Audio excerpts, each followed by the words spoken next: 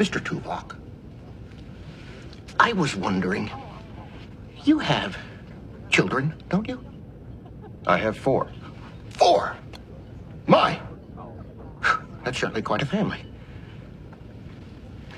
Tell me,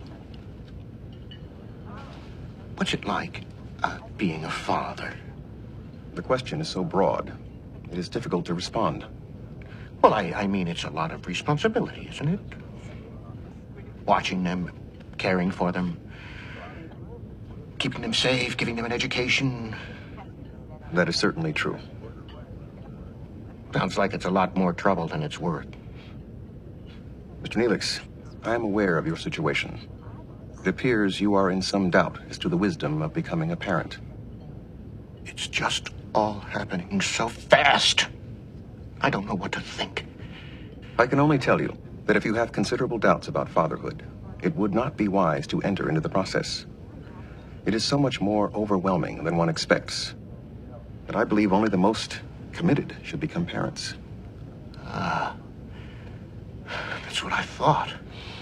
However, I must point out that as illogical as it seems, being a father can have infinite rewards, far more than would seem possible.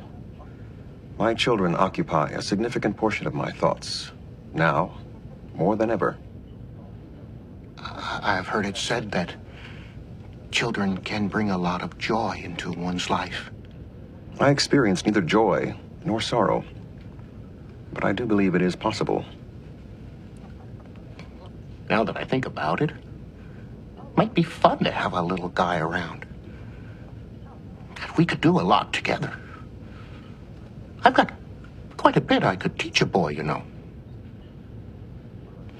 Survival methods, piloting skills, romantic techniques. yeah. If you say so.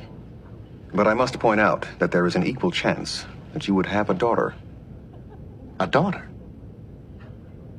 I don't have anything to teach a daughter. Why would it be any different from what you would teach a son? It just would. She'd learn more from her mother. I have three sons and one daughter. I can assure you she benefits as much from my presence and guidance as my sons do. It is unfortunate I must be so far removed from all of them now. I understand. We'll get there, Mr. Vulcan. I'm sure of it. Thank you. You've given me a lot to think about.